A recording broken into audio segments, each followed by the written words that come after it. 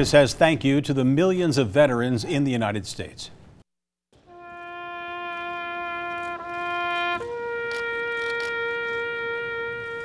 President Obama took part in the traditional wreath laying ceremony at the Tomb of the Unknowns at Arlington National Cemetery. There were a number of observances honoring our true heroes and their service to our country.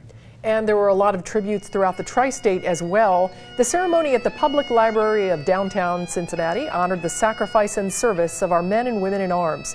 The keynote speaker was James Meyers of Blue Ash, a retired captain and Vietnam veteran. We need to be bridge builders. We need to be able to work at connecting sides. And I think at this time, particularly in our country and the history of it, now is the time not to focus on division, but to focus on that which unites us. The 62nd annual Veterans Day program included bagpipes and drums, plus the playing of taps.